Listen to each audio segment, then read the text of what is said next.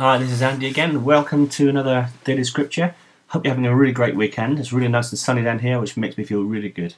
Uh, today we're looking at uh, the book of John, and we're looking at chapter 7, verses 32 to 39, where it says, Up to that time the Spirit had not been given, since Jesus had not yet been glorified. And that's in verse 39.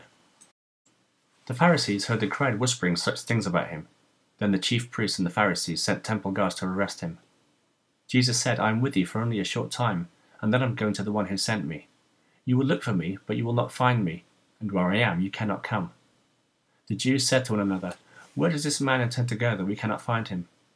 Will he go to our people, live scattered amongst the Greeks, and teach the Greeks? What did he mean when he said, You will look for me, but you will not find me, and where I am you cannot come?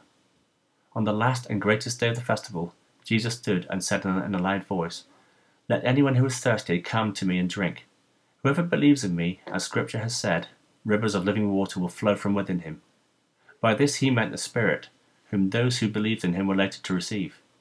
Up to that time the Spirit had not yet been given, because Christ had not yet been glorified.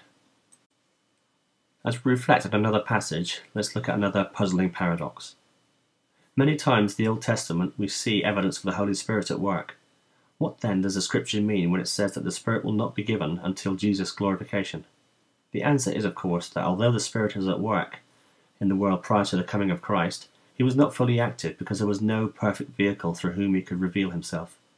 When once he achieved a particular purpose, the Holy Spirit returned to heaven, waiting, as did the dove in Noah's time, for a point and a place on which he could not only rest, but remain.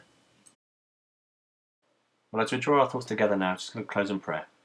Oh, Father, I'm so thankful that I'm living in an age of the Spirit, where He is with me always, Thank you, Father. Amen.